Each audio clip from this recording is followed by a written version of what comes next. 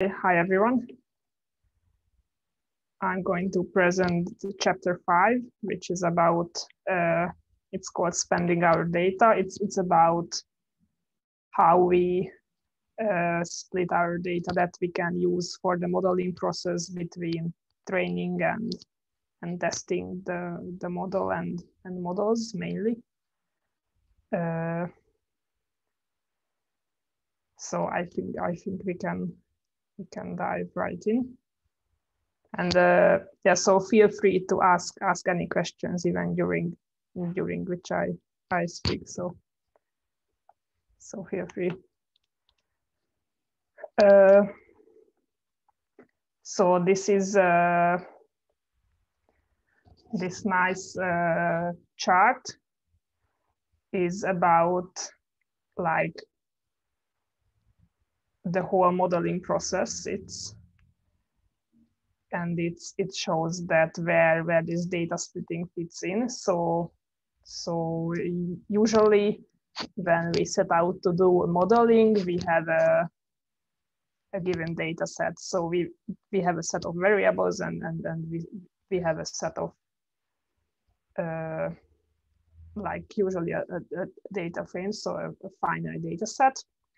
And based on that, we would like to build a, the best possible model. So we should do within this data set the model training, choosing what variables to keep and choosing what model to build, and then also also also evaluating. So this this drawing is about like data splitting is usually after some some initial exploratory data data analysis or maybe data cleaning but before before any any model building. So we have to uh, set aside a test set that we will only look at, at at the at the end of the modeling to to do a final evaluation. And we will do the model tuning and feature selection and so on with with a subset of the data that tra the training set. So this this chapter is is focuses on focuses on on this part. Uh, yeah, so it's it's it's it's quite important to to not not look at the test set during model building because then you will you are quite likely to, to overfit your model or or or or or, or, or otherwise not not get a realistic estimate on how well your model would perform on on, on new data. So it's it's for it's it's so that you can really uh, choose the best model that is that is that is also generalizing and not the best model on on this specific specific data yeah, so this part is basically about why we do this. So, so we do this so that we have a realistic estimate on, on how well our model performs or will perform on, on new data later. So uh, in, in the simplest case, which is quite common, is where we have we have individual uh, data points and they are they are independent. And and there's no significant time component from from the from the modeling point of view. Then then we can do a, a random split. And there's a function called initial split uh, in the in the in the rsample package. Uh, yeah, so uh, let's let's see how that works. So so we have the the Ames data set and the initial function, the the initial split function is uh, splits the data into two two parts. The prop argument tells us how big the training uh, set should be, and then, then the left is the test set. and I was interested in how how so what kind of result is this because it does not give you back the training and test set immediately. You have to call uh, a training function on this split object to to get the training subset and and the testing function to to get the testing subset. So this is an, an efficient way to, to store this information. If, if we look at how it's, how it's implemented, uh, we can see that it stores the, the original data frame and then it does not store two subsets, but it, it, it, it only stores the row IDs for the training set. So it's, it's just a way to to have, have, have all the information necessary for the training and test set without too much memory overhead. So it's, it's just, it, it was interesting for me, but, but, but if you use this, you only need to know that you call this, this initial split function and then uh, you call the training function to, to receive the training data and then you can work with that during modeling. Uh, yeah, it, it also tells you how many uh, data points are in the, well, it's, it, it, it uses different uh, names. So the training function will return the the analysis set. Also I, I, I guess it's just an, another name for that. So so assessment is another name for the testing and and and analysis is another name for for the training data set. So so in this case it's just just a uniform random splitting. It's it's the most common. So next the book discusses uh, reasons where this this uniform random uh, splitting might not be suitable. So, so one example is, is class imbalance. So, uh, so it's, it's, it, it, it occurs when, uh, when there's maybe a, a factor variable or, or it can be can be any type and its its its, its distribution is is is imbalanced imbalanced or skewed. So and then random splitting uh, can be problematic in a way that if if your sample size is not not very big and and there's a huge imbalance then there might be significantly more from your small class than in, in, in the in the training set or the, or the test set. Uh, so one example that, that another cohort found is a data set about uh, mountaineering expeditions.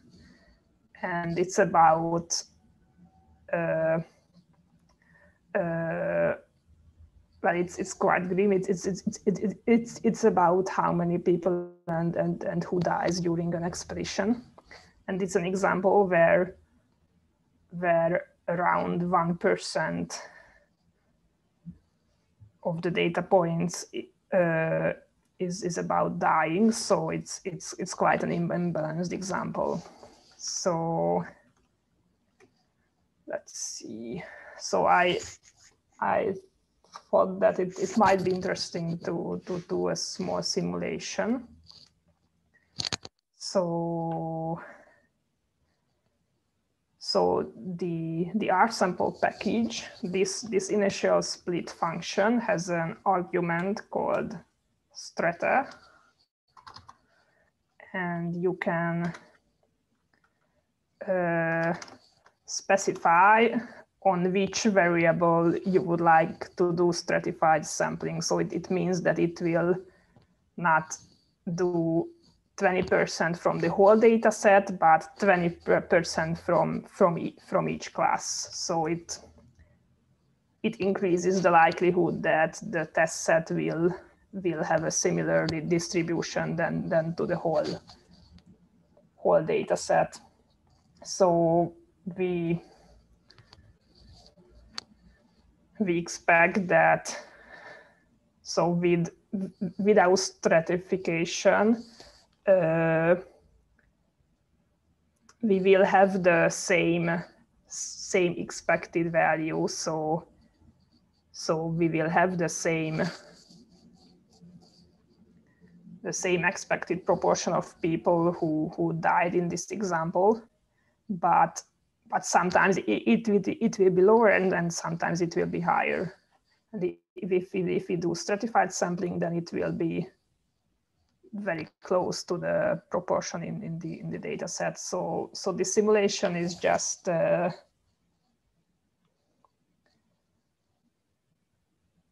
it does uh, like a, a, toy data set uh, where you can uh, specify the proportion of, of the smaller class.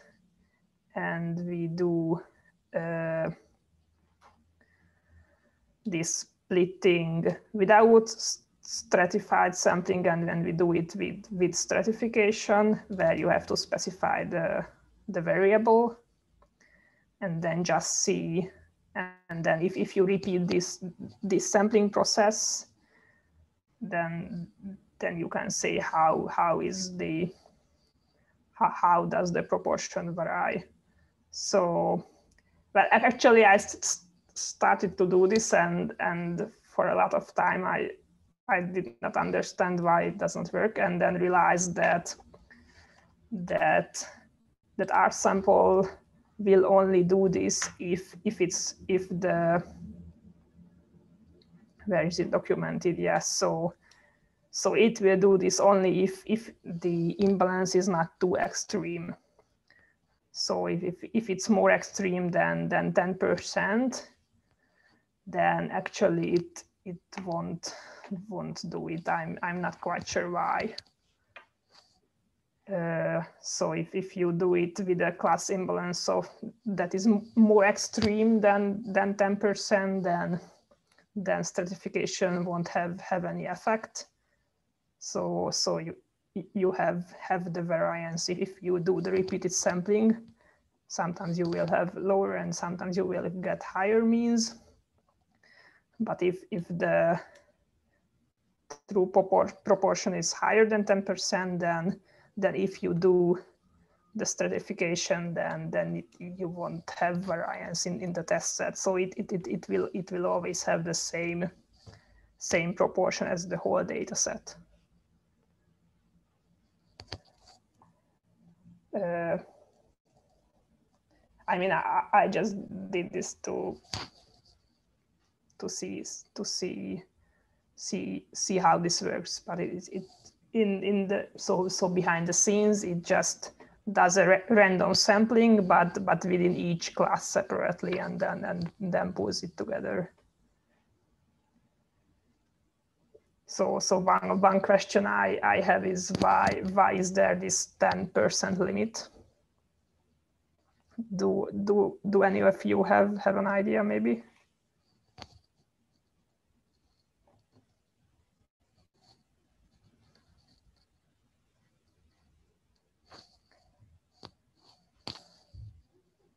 So one one thought that I had is maybe if, if there's a really is if, if there's a really extreme case, then even stratified sampling does not solve all your problems and then maybe this limit is not too so that you don't feel safe too safe with this but it's, it's just a, it's just an idea. I, I, i'm not sure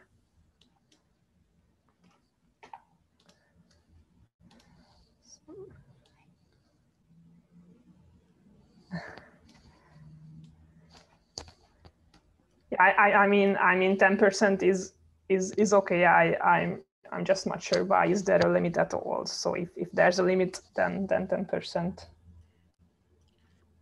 I'm guessing the limit is really trying to just stop you from hurting yourself.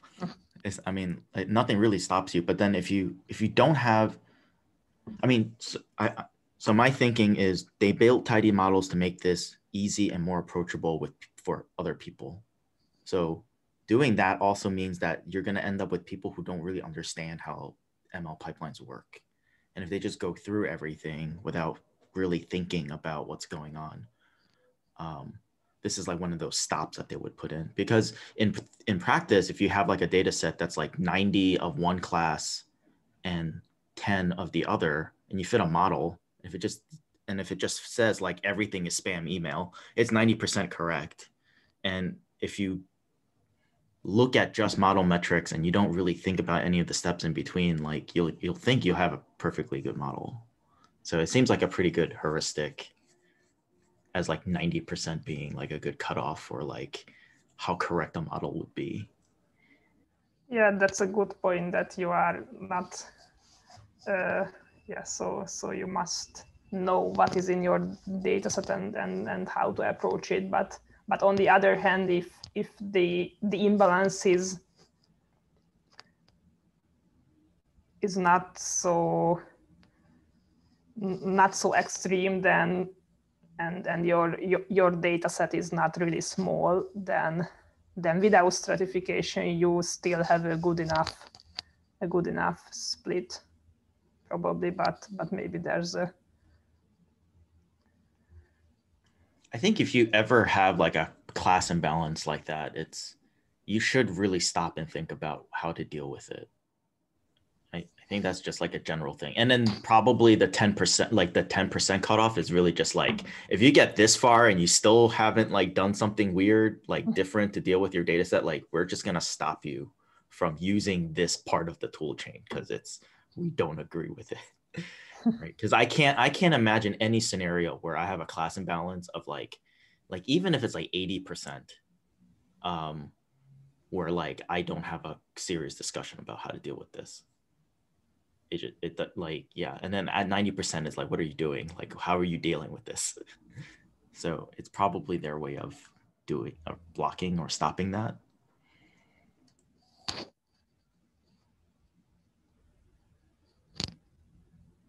yeah. Thanks.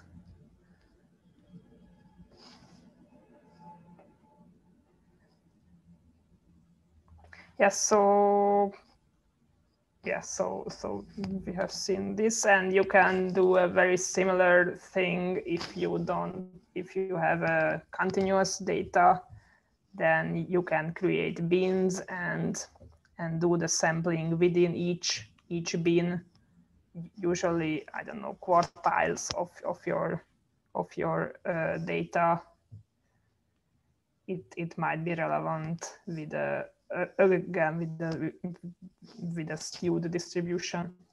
So it's it's it's the same same way to do this. Yeah, I was wondering on this snippet of code. There's nothing in the documentation about how it is it always quartiles or can you specify it finer or coarser? I didn't see anything. Uh, or was sale price a variable that they made? I couldn't tell. So I think sale price, we can check. So sale price is a variable in, in the data. And I think there, there, there's some other argument which you can use to refine, but let's check. Uh, oh, I see breaks. Okay. Yeah, breaks uh, it says okay. number of bins. Okay. And it defaults to four. Okay, cool. Yeah. I missed that part. I was only reading about strata. yeah, okay. it's it's scattered the documentation below between between the arguments and the details section yeah, I, I haven't experimented with that. But I guess if you give it to large number, then it will scream again. No. uh, yeah, so it seems it it does not give you a warning that maybe you shouldn't use that many breaks, but but in in the so so behind the scenes, it I think it's it's the similar that you cannot really use more than 10 Mm-hmm. But I, I think if, if you again if, if you really wanna do that you can do it with by hand or, or so. uh, so so you so so you were thinking about more beans or you were thinking about not percentile based beans but something else No, I was just wondering if they had that functionality. I didn't really read very closely, it seems like. yeah, I, I'm, I'm not sure but well I, I don't think that that you should really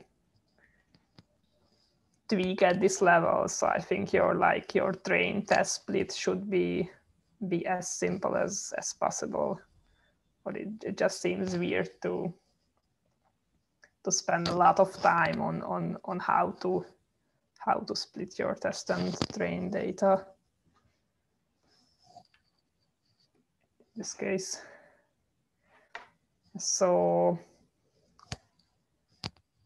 the next quite big big part where where the simplest method of random split is, is not suitable is when there's a significant time component.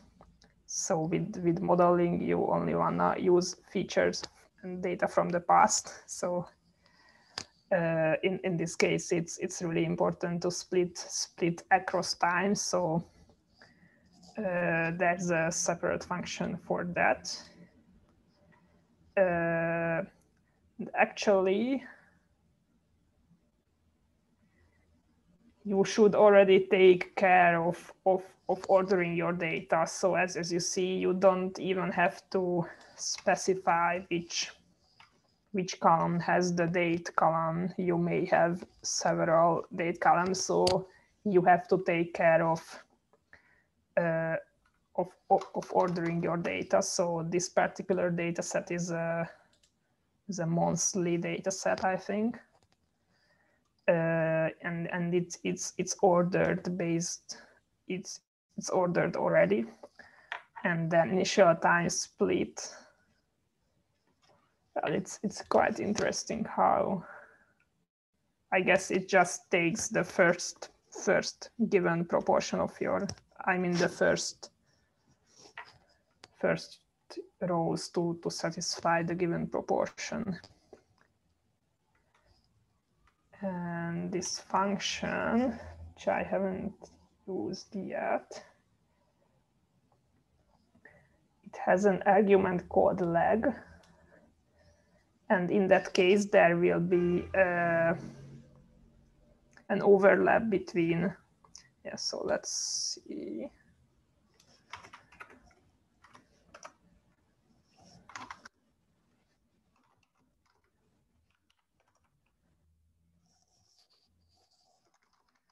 So the last part of this.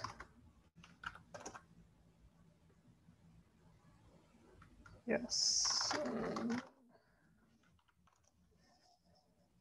So in, in this case, it's, it's not two separate parts, the training and the test data. So the, uh, sorry, I may, uh, should. Yes, yeah, so the, the test data starts earlier than the as, as the train data ends.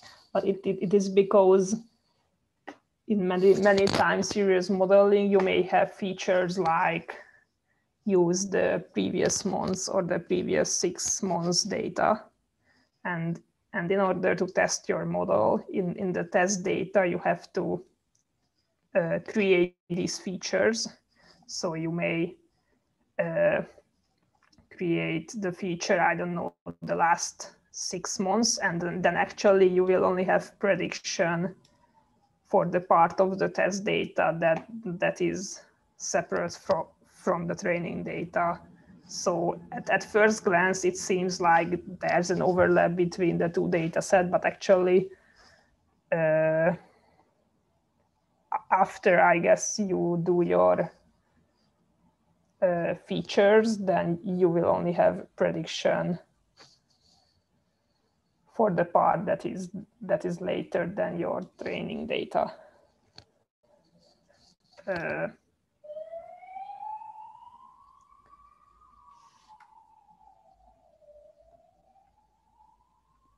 so I noticed for that one, there's no, if you go back to the slides, there's no argument of proportion in this one.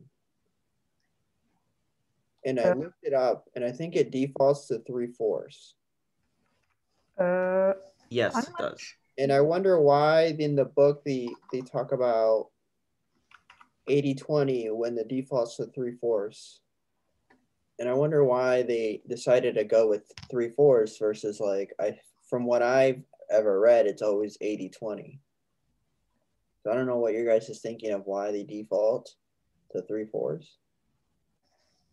But I'm I, I I have no idea to be honest.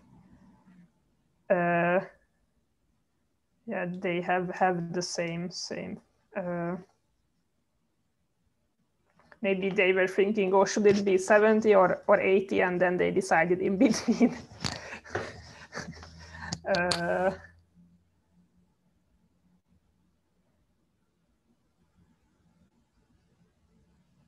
yeah maybe maybe it's it's again what what kind of what daniel said earlier that this way you have to think about it and probably most people will will use 80 but then then they they have to make a conscious decision I, i'm not sure Yeah. I don't think people would go low. Maybe people wouldn't go lower than three fourths. Maybe that's the mm-hmm. low bar. I don't want to imagine somebody going 60 40. Maybe it's just like they're thinking of, well, that's our. We shouldn't expect you to go. Be if you're going below is three fourths, there must be some reason for doing so. Maybe they said, mm-hmm. like Daniel said, in like the 10%, it's another thing for people who aren't very, who don't use modeling that much. They might, you know, set the the low bar if you the low bar at three fourths. yeah yeah maybe i i haven't found anything in, in, the book or the documentation about about this? I think they say it's it can be 70 it can be 80 then why they settle with with with 75 i I- i'm not sure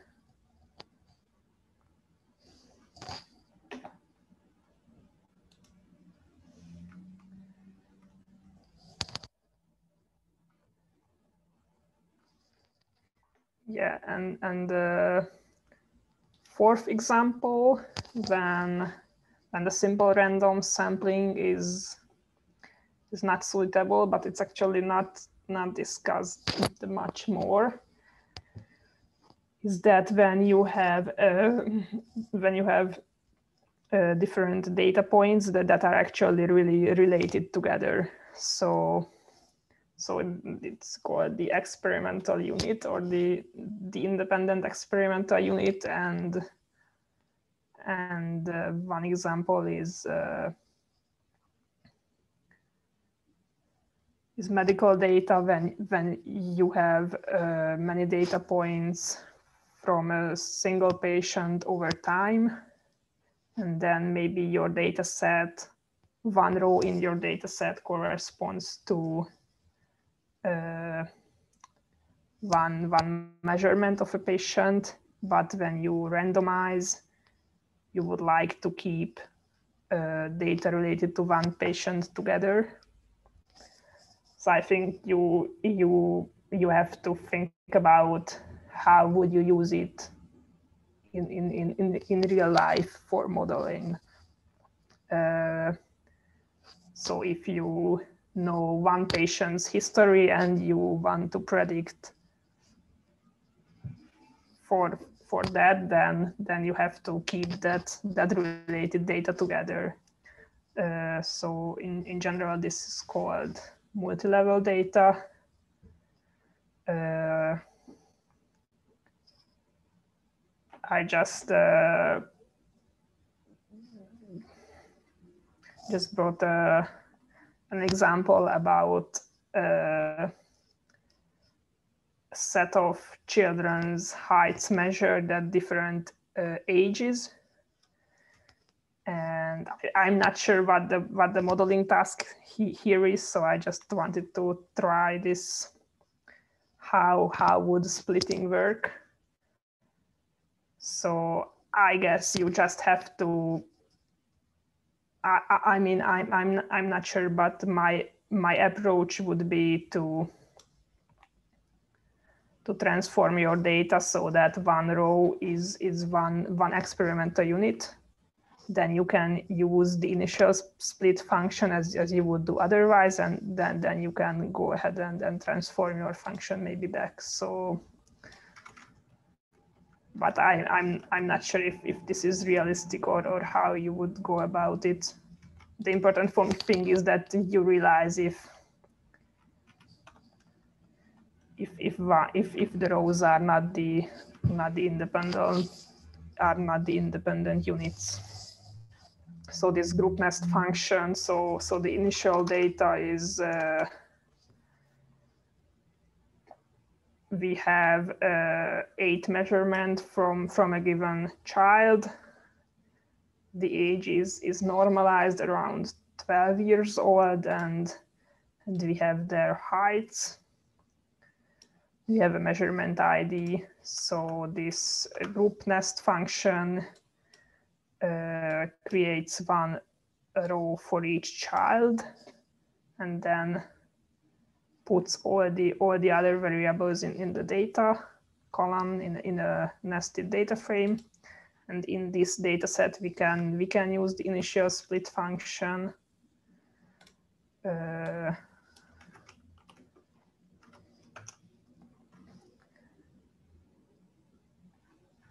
and then then we can have the training data and maybe unnest again if, if we wanna go ahead with that. Uh, yeah. I think the other way to go about it is to keep all the children and then split on like time. Instead of here, you sampled each individual children. So some children were left out. I guess it depends on what the goal is. Yeah, yeah, yeah. Great point. Yeah, I guess here it's yeah. So there's like, an important time component. We don't know what, what what the modeling task is, but yeah, yeah.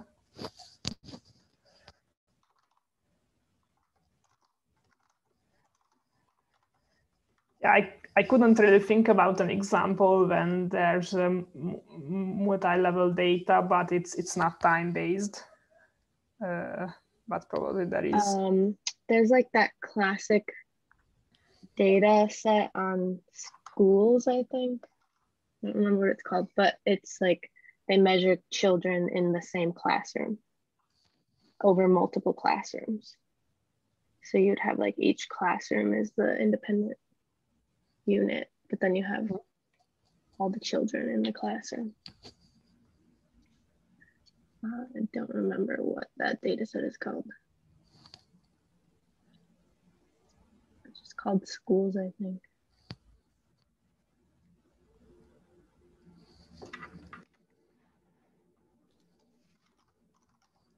Yeah, it's from a book, so it might not be in R.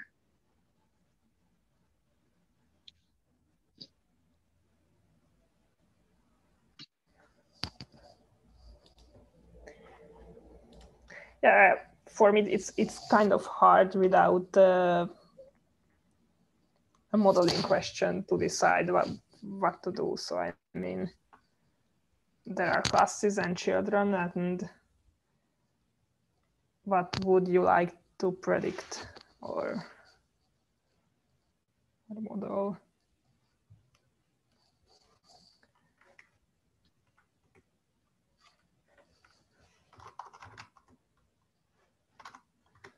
But in, in this case, we would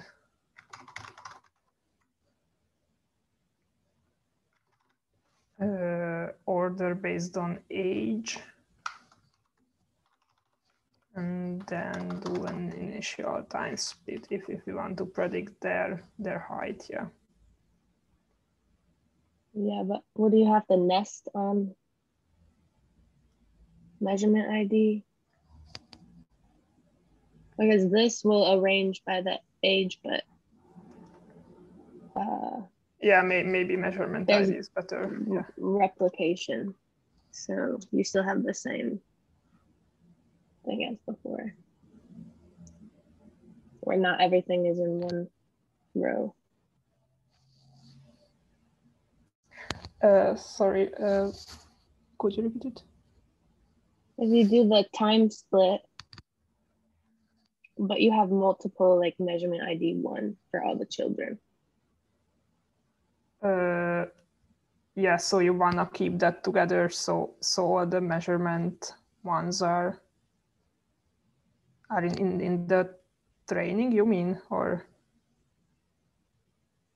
Yeah, like you. yeah I, I think if you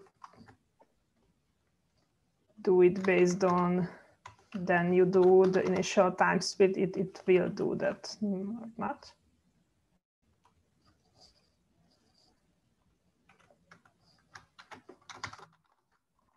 Yeah, but if not all the, ch- yeah, well, it doesn't really matter. Are you asking? Is it, do you want to have like one, do you want to nest by measurement ID so it's one, every student is one row? You'd probably So that you don't have that duplicate. You can group group by by so you, don't- each each kid and then do the time split on each kid so you avoid that duplication. so that you have like the same proportion time series for each of the kids. I mean, like usually, like something I do is with space time. So like for each spatial location, I only keep like 50 years and then forecast the last year for every but for all spatial locations. Mhm. Uh, but but just arranging by time and doing the first 80% doesn't necessarily give you the last year for every location or child yeah yeah yeah yeah yeah I, I, is what I was trying now, to say. yeah yeah thanks yeah I, it's just So We don't necessarily have to code it, yeah yeah right now, okay, but- yeah. just another way to split it. yeah yeah thanks yeah it, it, it makes sense yeah i guess yeah so what i did first is was was ignoring the time component so it's just uh, general Yeah. multi-level data and then what you are saying is is realizing that this this has a ch- the time component for for each child Yeah, I would say the first way you did it might be good in like a functional prediction. If you want to predict like a height curve, height age functional relationship, Mhm. and then predict it for a new child, their whole functional growth. Whereas the other way might be just like a forecast for everybody involved. yeah yeah yeah thanks um, yes so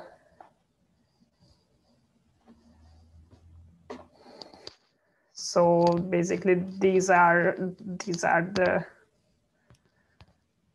the two functions that that were were introduced and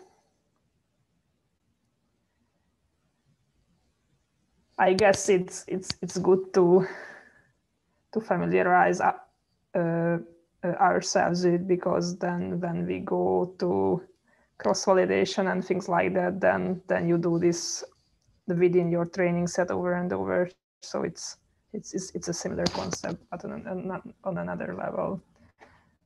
Well, this discussion is just about what we already said, that we have no idea why it's 80 or 70 or, or 75, but I, I, I, kind of, I kind of like the, the argument that, that 80-20 works nicely with, with five fold cross-validation. So it seems like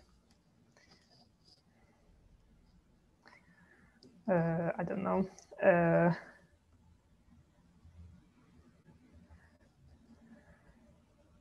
uh, a, a, nice thing.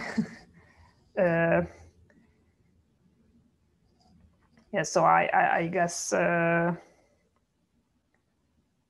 what's important is that if, if you have a very large test set, then then you don't have enough enough data to to build your model, or it's just like you could have an, a, a, better model if, if you had more training data. And on, on, the, on the other hand, if, if your test set is too small, then then you won't have a, a trustworthy way to, to know your true performance. But, but, but, but, other, but otherwise, it's, it's not a scientific uh, way. I, I, I guess guess guess other softwares have have different defaults maybe i don't know if, if you used python or or some some some other tools and then maybe you see 70 30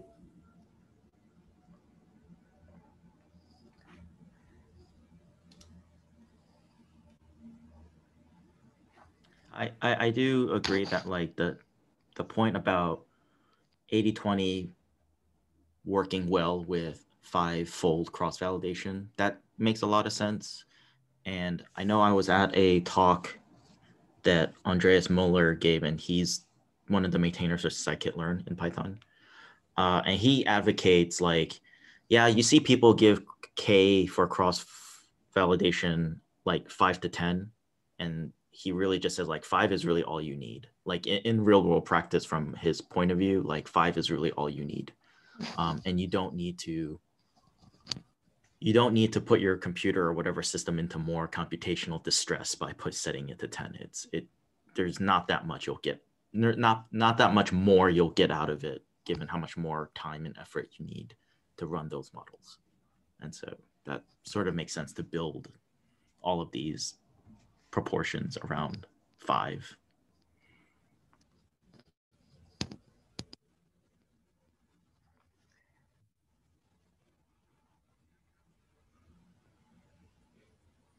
Yeah.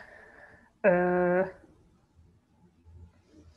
yeah, so so this was the chapter. I think we will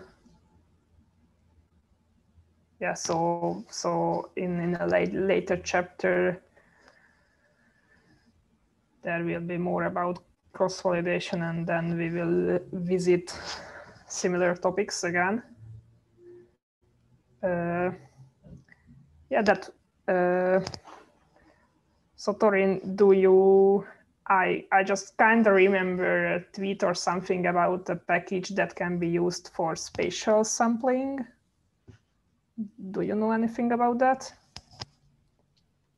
Um, no, I mean, usually I just will like code it myself or something, but usually in spatial statistics, things are kept, uh, I guess you would say wide, like space is the row and time is the columns. Mm-hmm. Um, so it can make it a little bit easier to just subset it. Yeah. Um, but there might be like a tidy way to do it. I'm sure. Do you? I am not. I know like there's an entire ecosystem around spatial modeling, and I'm, yeah, and tidymodels is usually not something I think about when I think about spatial modeling things. Yeah. Yeah. Yeah, Because then, because then your core data object is the SF object, right? And it, that's like a totally separate. And I'm pretty sure Max and Julia do not want to have to deal with that. if they can get around it, I'm. I mean, they might have like, Yeah. because like even the they types of models you fit are totally different. Like it's. Yeah. They use a lot of the like S4 objects in the spatial packages Mhm. that the big ones. So I don't know how well that would work with the tidyverse. I see. which is more on the S3. But I don't know. I usually honestly just like hard code a lot of stuff that I do myself. So uh, probably not the most efficient.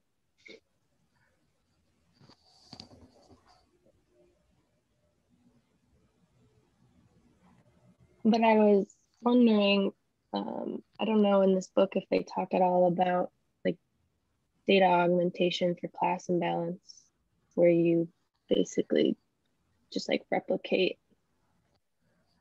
I think your there's samples to make it more balanced. Mhm. I vaguely remember that there's something about oversampling. Can, Yeah, it might be under like weighting is like another way of dealing with it.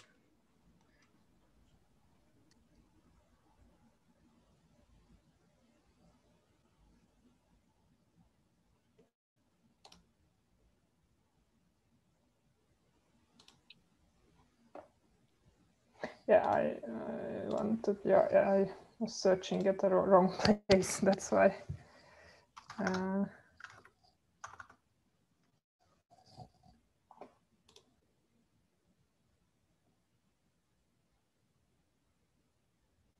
Yeah, I, I know like with imbalance classes, there's like there are many different ways in the entire analysis pipeline that you can deal with imbalances and different fields also call different points in time like different things. Like in epidemiology, one way you deal with class imbalance is like you you design your study as a case control. So like every person with like is matched with another person so you have one to one and you force that to happen. And then um, the other ways you deal with it is like if you already have the data set you would do some kind of like weighting um, and upsample downsample as needed. Um, like stratification is technically another way of dealing with that as well and it's all like different points in time of the analysis. Um, that you deal with like class imbalance. So there really isn't like a if you have class imbalance, do this one thing because like there's you can deal with class imbalance if you know going in that you have this problem and you'll just like upsample your population. So like you don't even have this pro- problem in your data. Um, so I guess that's that's why it always seems like it's all over the place because there's so many different ways you can deal with it.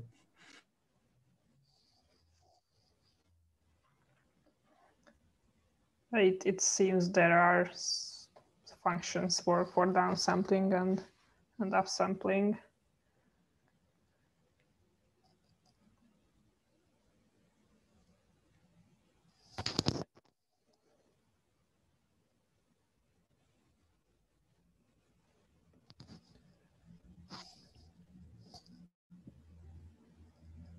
Do you know about about other sampling methods, or, or, or is there anything else that that we should be aware about? Uh, I can't hear you, Chris.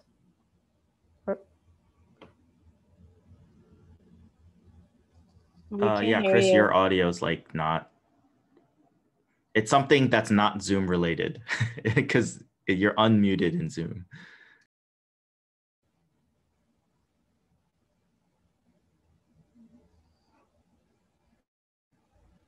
Hmm. Nope.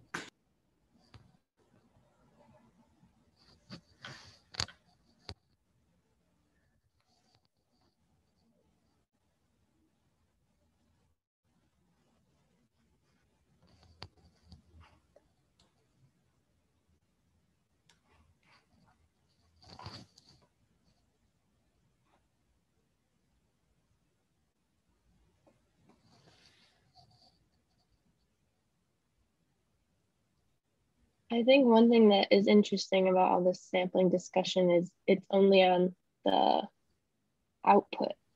But I think sometimes you have to think about do you have like rare uh, combinations of inputs and things like that. Interesting. Um, I don't know. I mean,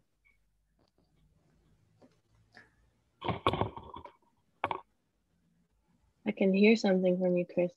Uh, okay, did that work? Yeah. Yeah.